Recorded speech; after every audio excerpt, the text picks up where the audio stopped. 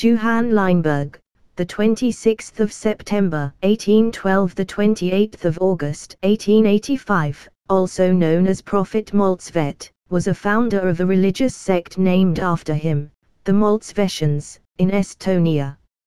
Juhan Leinberg was born in Järvamaa, Norra parish. In his youth he was a farmer, miller, barkeeper and seller in Tallinn. In 1854 he started holding preachings in northern Estonia and called on people to give up collecting wealth.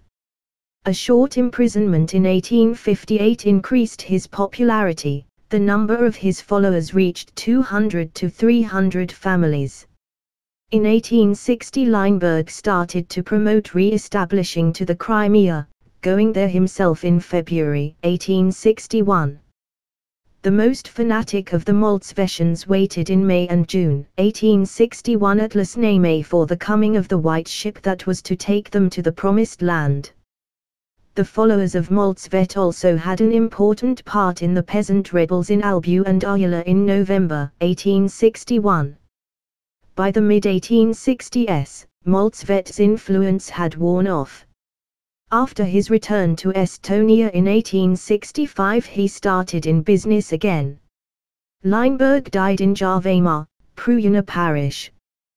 The movement of the Maltsvetians is treated by Eduard Vilde, 1865-1933, in the novel Prophet Maltsvet. Published in 1908, this was the third book of a trilogy that established Vilde as a writer. Like the others, it mixed fact and fiction, but was based on letters and notes of interviews with Crimean Estonians.